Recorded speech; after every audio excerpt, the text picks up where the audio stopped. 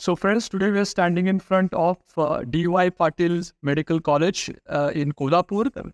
This is the facility right behind me, where we have just conducted a two-day workshop on a cadaveric-based learning model for orthopedic surgeons across the country. This was an intermediate to an advanced learning skills lab, and here we focused on all the main aspects of uh, knee surgery, looking at various ligament reconstructive procedures.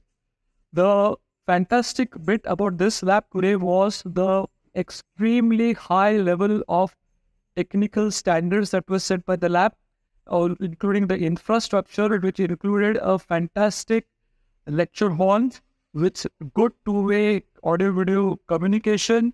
There was an interactive board which allowed me to educate people and solve their, you know, queries on a real-time basis, and also help me understand their questions and we could then do a whiteboard teaching for them.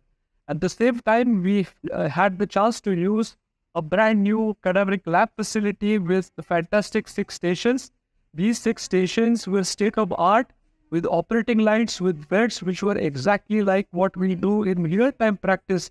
And we had an environment which was absolutely conducive to learning. Gone are the days where you have issues, where you have things like smelly cadavers, you know, hot, humid rooms. This is absolutely state of art. And the icing on the cake is the fantastic embalming process which this anatomy department has then fostered to ensure that you have a real tissue feel when you go in.